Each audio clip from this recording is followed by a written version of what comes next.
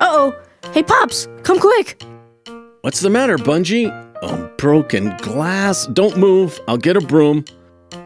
Playing baseball with your friends again, were you? Yeah, it was my turn at bat, and I hit the ball good. How did you know? Here's your ball. Oh, there it is. Thanks. See ya.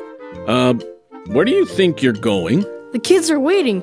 We're in the middle of a good game. Bye. Isn't there something you want to say to me first? Uh, no, not really. You broke my window and you have nothing to say? I didn't break your window. Oh, I'm sorry. I, I thought you said you hit the ball. I did hit the ball, but I didn't break the window. The ball did.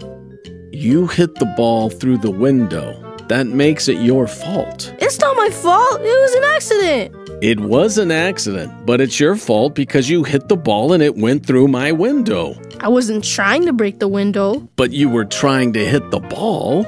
Well, yeah. And you hit it good, right? Yeah, you should have seen it, Pops. It went right over the pitcher's head, and that's when it hit the window. I yelled, No! But the ball didn't listen.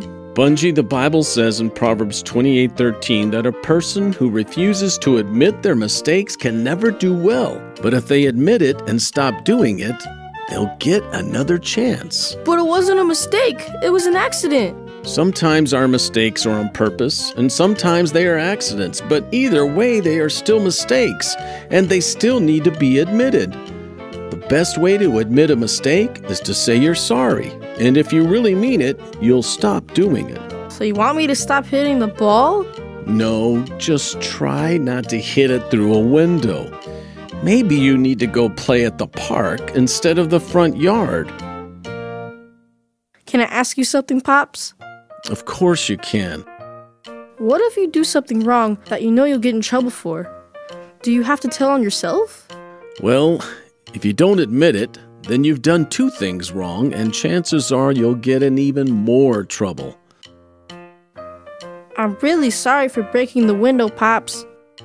I forgive you, Bunjie. Here. A broom? What's this for?